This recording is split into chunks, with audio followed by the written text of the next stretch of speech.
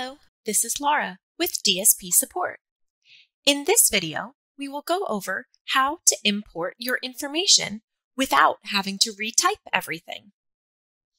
An option to import your data using our Data Import tool is available as soon as you create your account. Start by going to the main Students page, click Student Options, and select Import Student Data. The DSP import tool can be used to import your data properly.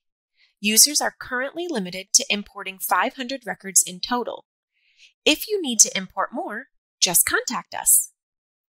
Start by downloading the template here. Then, format your data to fit the template file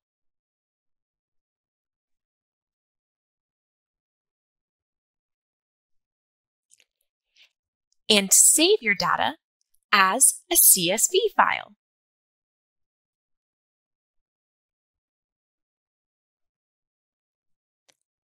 Upload the file by selecting the Choose File button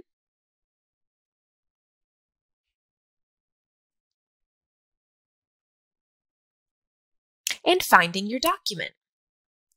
Then, click the Upload button.